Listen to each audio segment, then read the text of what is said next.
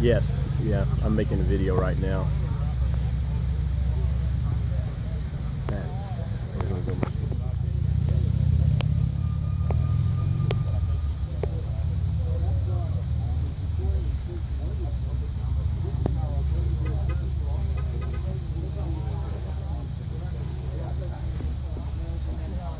Get the sheriff too and enter the gallery. Okay, well, there you go. Which like